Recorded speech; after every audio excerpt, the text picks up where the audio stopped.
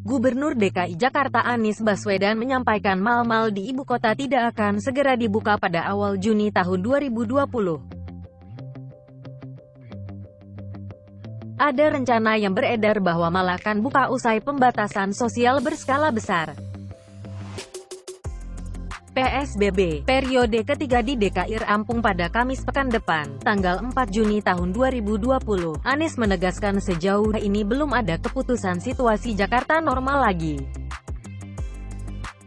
Bahkan, sepekan sebelum PSBB berakhir, Pemprov DKI juga belum mengambil keputusan, jadi saat ini kalau ada yang mengatakan bahwa malah akan buka tanggal 5, malah akan buka tanggal 7. Itu imajinasi. Itu fiksi, ujar Anies dikutip dari YouTube Pemprov DKI pada Rabu. tanggal 27 Mei tahun 2020.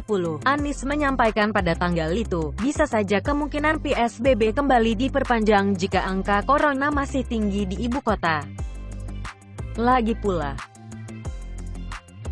pemerintah sejauh ini juga belum memutuskan tanggap masa darurat COVID-19 berakhir dengan selesainya PSBB periode ini. Belum ada aturan mana pun yang mengatakan PSBB diakhiri, ujar Anies.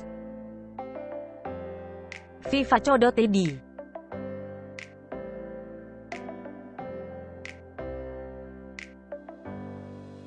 Jadi bagaimana menurut Anda?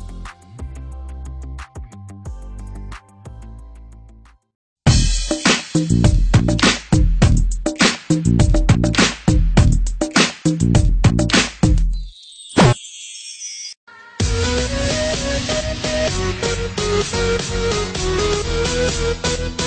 you.